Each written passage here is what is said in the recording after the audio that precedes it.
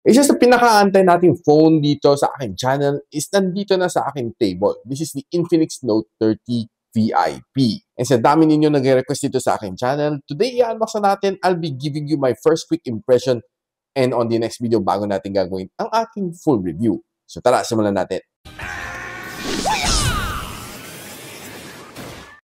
So hi guys, I'm pala sa Richmond ng Gadget Sidekick and welcome back to my channel. This is the Infinix Note 30 VIP. And nakita natin dito sa packaging, nag-bump up ng gusto ang kanyang RAM. So, up to 21 gigs of RAM and still 256 gig of storage. And ito is something new. May wireless charging na siya. And it's still supported by JBL. So, here are some quick specs. Tabuksan natin. So, sa loob, there's two packaging. And kita natin na this one is the wireless charging pad. So, rarely na nakakita ko ng wireless charging pad on this price point. And honestly, it's really surprising. Buksan natin. Normally, nakita natin mga charging pad color white. Pero ito, nakita natin, it's really shiny black na may Infinix logo sa gitna.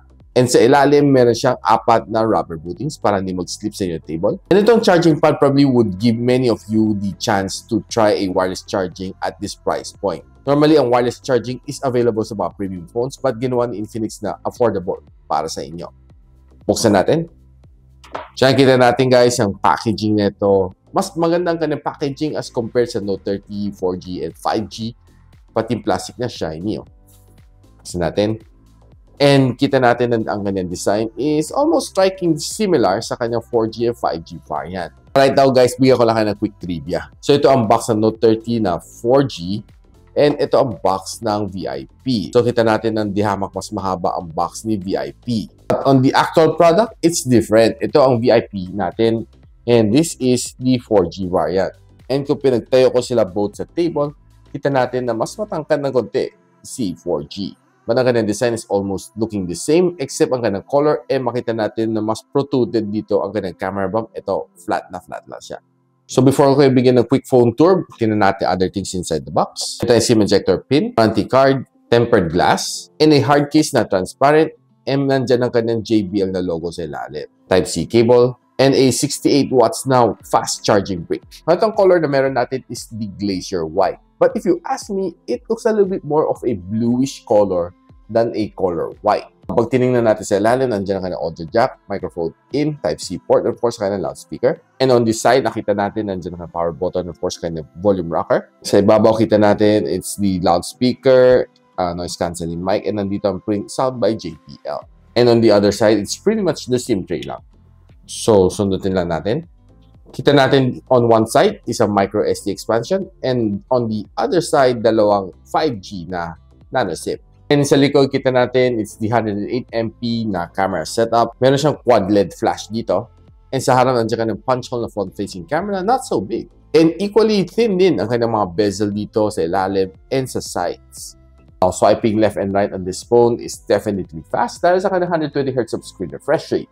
And the phone na ito is being powered by the MediaTek Dimensity 8050. It's a 5G processor, so definitely expect fast processing dito, especially sa gaming. Browsing on TikTok is definitely smooth dahil sa kanyang high refresh rate. The phone na ito comes running under version 13 and ang kanyang OS is XOS na version 13.0. So like I said kanina, pwede mo expand ang yung RAM plus 9 para maging 21 gigs of RAM. Now, shooting on low light dito sa camera is not so bad.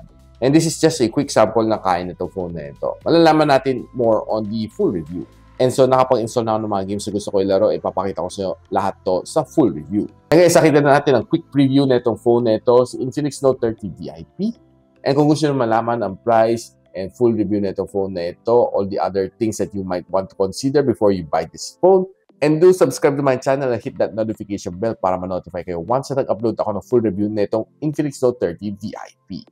And so, ako para si Richmond, and you're watching Gadget Sidekick. What's up? Like and subscribe to my channel. Don't forget to hit that notification bell.